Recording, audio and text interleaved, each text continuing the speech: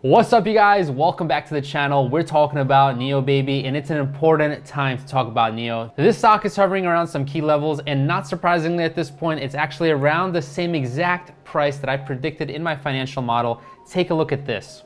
Now we can obviously play around with these numbers just a little bit. So let's say the bull case is less likely to happen. We put 25 there but now we put 55 more for the base case. Well, now it's $43.95. So basically, I think the stock is worth between 40 and $45 per share in the near future, or actually that's what I value the stock at right now. I hope you guys didn't get bored there. That is my price target on the screen right there. I'm gonna bold it. That is my price target for NIO right now.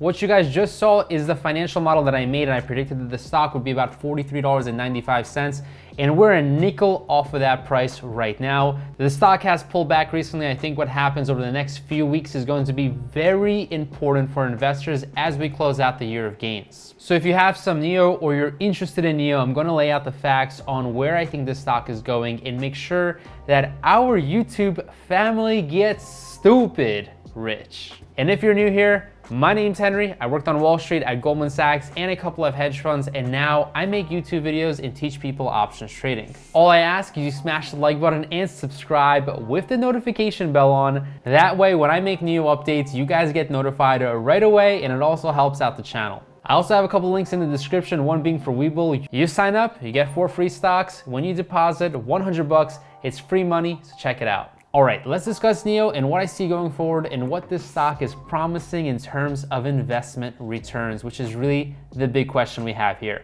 We got some rumors that NIO would get delisted in the whole China debacle, but also we have some stellar vehicle deliveries last month. So it's no surprise we have a lot of good and some bad news that is keeping investors really mixed on the stock right now. So what is it? Is this stock gonna make us stupid rich or are the massive gains over at this point? Well, I'm usually optimistic and go with the good news first, but I wanna hone in on the delisting news because this event could be a very big deal. You know we got excited investors because they all want a piece of the fast growing EV market, especially in China, and it's a rare event that the House of Representatives voted unanimously pretty much last week on December 2nd, and they passed the Holding Foreign Companies Accountable Act that is a mouthful. And basically that is targeting the Chinese listed companies that I'm about to get into. With the move, the House joined the Senate, which had similarly passed the bill unanimously back in May actually, and President Trump is expected to sign the bill into law. And I'm not gonna lie, this is kind of a big deal because it's gonna affect a lot of Chinese listed companies, especially NIO stock. And this was a $55 stock and we're now down 20% from the highs. And as I mentioned, this not only affects NIO stock, which is what I'm talking about in this video, but hundreds of Chinese companies whose shares are currently listed on various US stock exchanges. The law requires additional disclosure from Chinese companies with the intent of ensuring that those companies are complying with US accounting rules in overseeing all of their operations. Now, from one perspective, guys, this isn't all bad news. We know that Chinese companies can maneuver or cook up the numbers, so extra regulation when it comes to foreign stocks in China could have some benefits. It could actually protect a lot of investors putting a lot of their money into NIO stock, but the drawdowns are huge. As investors, we would have to do tricky things like trade over the counter shares, and that just doesn't make you feel right. It's just so much extra work, and you can't really look at your stock in the app such as Robinhood. It's not gonna be there anymore, and that just complicates everything so much. And I actually want to discuss multiple pieces of good news to put in perspective.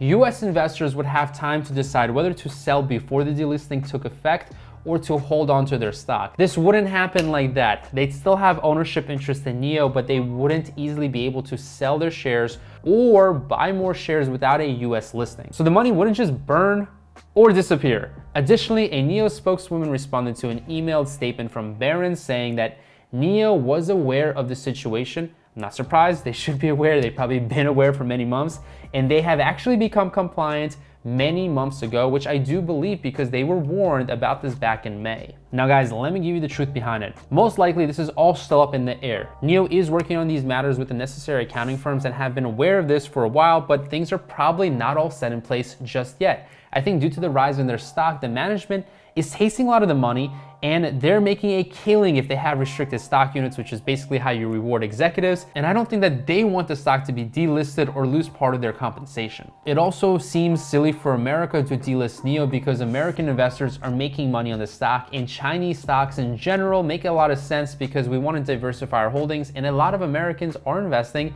in Chinese assets, whether it's Alibaba, NIO, or other Chinese companies. It's just too much of a good deal for American investors because it just makes sense diversifying your money.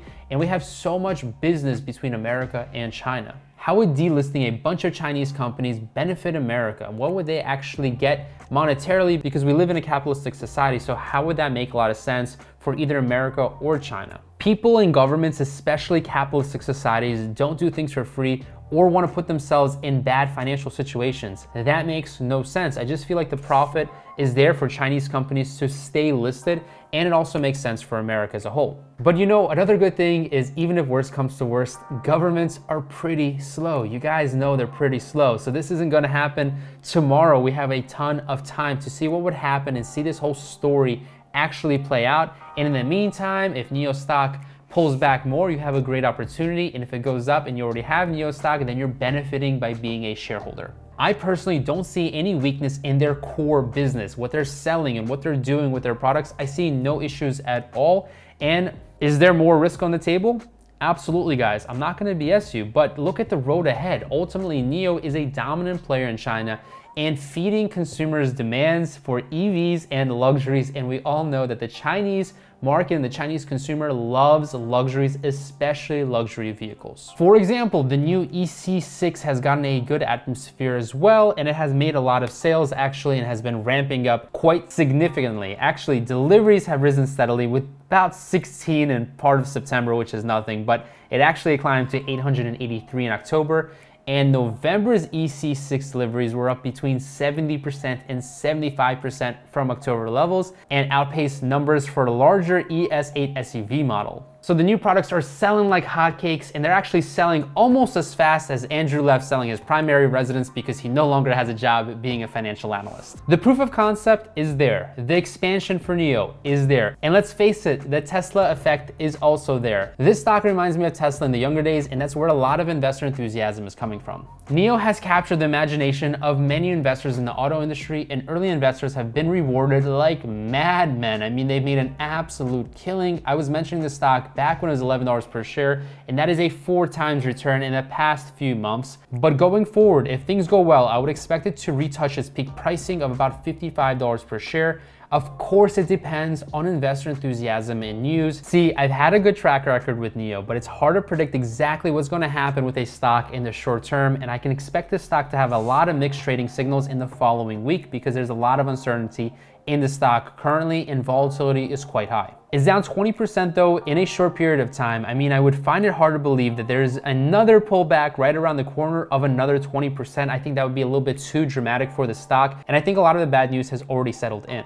I say NIO could see consolidation in the next week, and if delisting talks get pushed back or take a rear view mirror, that this stock's volatility will drop and enthusiasm will again set back into the stock and potentially spark a new flame. So my prediction is we see a lot of sideways action, but at year end, I can see the stock going to 47 to $50 per share. If all goes well, I can see the stock having a gap higher in the start of 2021 to the mid 50s per share if all goes well. I think the best thing that someone can do is hold their shares. I mean, just take a look at your phone, admire your gains on NIO, and then uninstall Robinhood and put your phone away because you want to allow stocks as a long-term investor to work for you. And if you want to make your stocks work harder for you, then go ahead and sell some call options and collect that juicy premium income. You can find more information by watching my free videos on options trading right here on my option playlist, or you can check out the description below. I love you guys. Thanks for making it this far. Be aggressive in learning but be safe in investing.